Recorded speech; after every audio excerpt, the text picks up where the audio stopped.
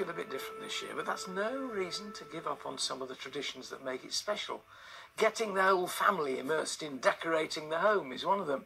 But it's not just the tree we should be thinking about. Here with some quirky crafting ideas to add stylish and personal touches to your festive adornments is a man who knows his way around a toolbox. Welcome, TV carpenter Wayne Perrey. And it is families that can get involved in DIY as well, isn't it? Absolutely, and I think anything that I do, I like to encourage everybody to pick up the tools and have a go. And for me, Christmas is about sparkly lights, you know, tree lights, copper, a bit of bling, candles.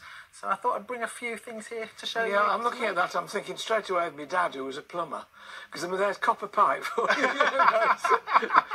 Three quarter inch it used to be. It's now metric. I know. Oh, I know. Don't get involved. Don't get involved. Don't but the beauty about the copper piping is it's a bit like a Meccano set. It all just clicks together. And obviously, there's no water going through it. There's no gas going through it. So you can just super glue it. Just click it. Really, super Yeah. gluing copper. Me dad would be, you know. No. Anyway. Anyway. Right. But yeah, so I wanted to teach you how to make. We're going to go for a, a simple um, candlestick. But Yeah. if you get adventurous, you can make this one. This I love this one because the idea is that it's on your. imagine it on your table. At Right Christmas. down the middle. Down the middle, wrapped do- in flowers. And the great thing is when you can still see through it.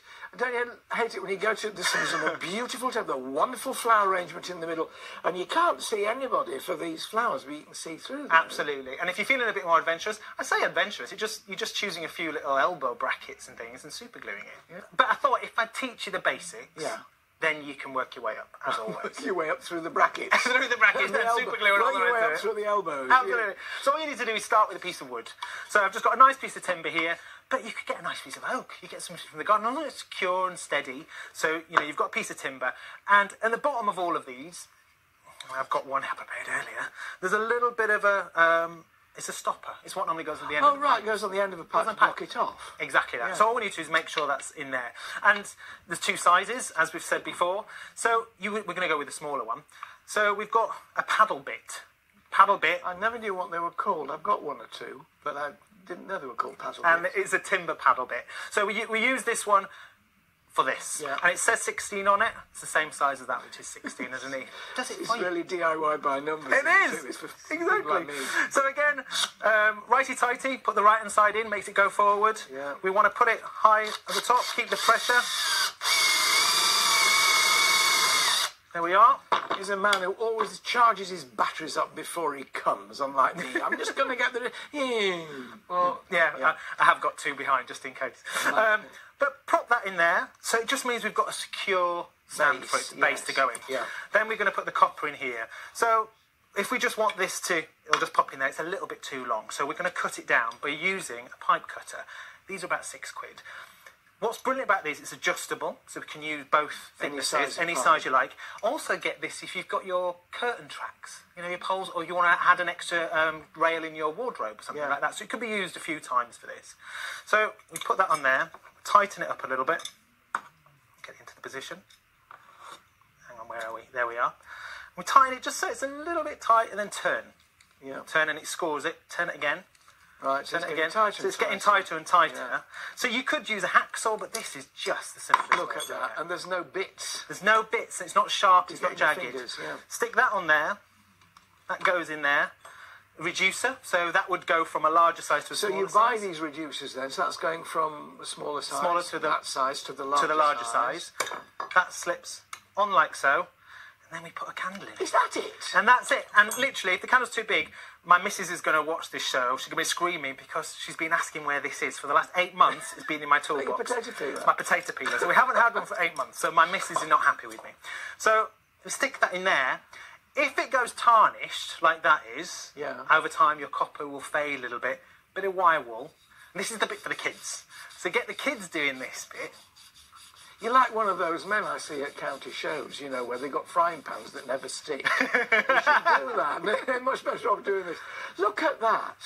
Yeah? Shiny again. shiny again.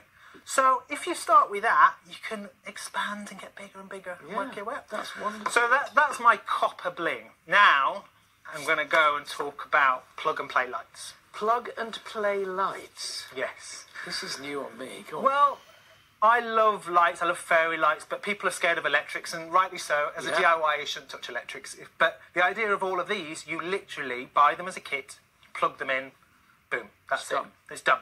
So this lights and these lights are made using the festoon lights. You know the lights that you know Yeah. you drape outside or whatever. All I've done, particularly this one, this is my little boy Harper Your dog. my dog. so a good friend of mine, Carol, who's got a shop called Max, made me do it. She said, "Can I make him into a Christmas card?" So she made him into a Christmas card, and then and she sells those. And then I went, "That'd be perfect as a box light, you know, with the antler." Yeah. So all I did, I'll turn this one around. Drilled a few little holes. I made sure the holes were actually the same size as the copper. There were Yeah. 16 paddle bit.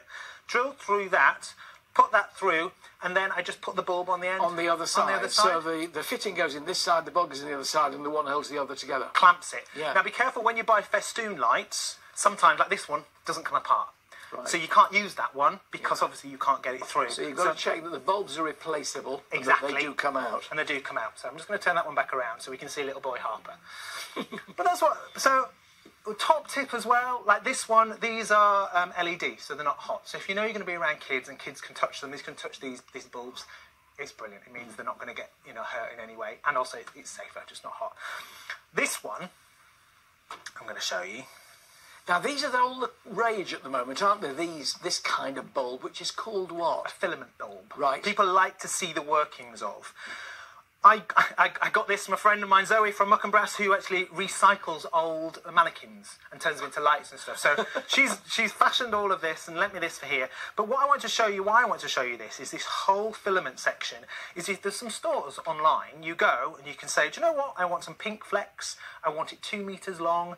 I want brass fitting. You can have copper. You can have black. You can go the whole Bakelite look. I just want a plug, and they literally make it up for you, pack test it so it's safe, send it to you. So you've designed it, but you don't have to do any of the electrics. Come, wrap it round here. You could you could wrap it round an old trowel that's hanging But this, I mean, this is lovely because it's harmless, isn't it?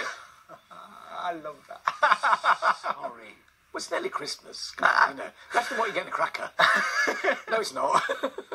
Boom.